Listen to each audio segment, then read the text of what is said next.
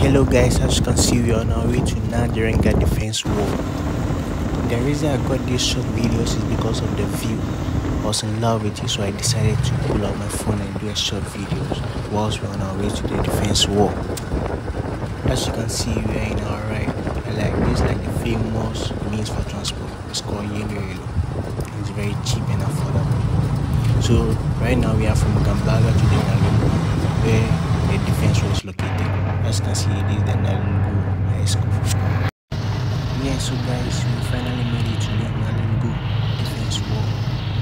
We had to meet with one of the locals to tell us about the whole story about the defense war. He then said that the defense war was built in the year 1700 by a legendary Mamprusi king to defend the capital of Nalerigu against its raiders. Najiringa reigned from around 1740 to 1752.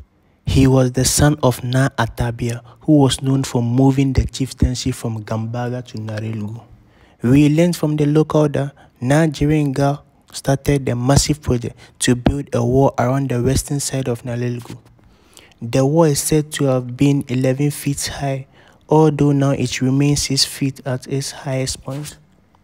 As you can see, we thought the wall was made purposely for slavery, but then the local told us that the wall was constructed for a purpose. It was constructed to defend the people of Nalerigu against its raiders.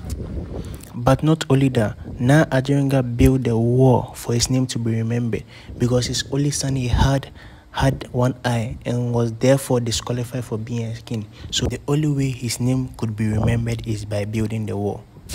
The last but not the least is a defense war against the slavery that happened in the year 18th century.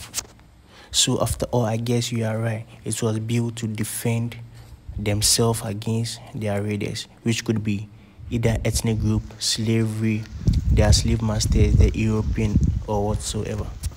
In addition to the legend of the king lineage, there are some other mythical stories about the war. We learned that the wall was made out of mud, gravels. Some claim that shea butter, honey, milk, and others claim that it was made with blood and bones of human beings. Ladies and gentlemen, that's it for the end of the video. Let me know what you think about the video in the comment section below. Like, comment, subscribe. We out.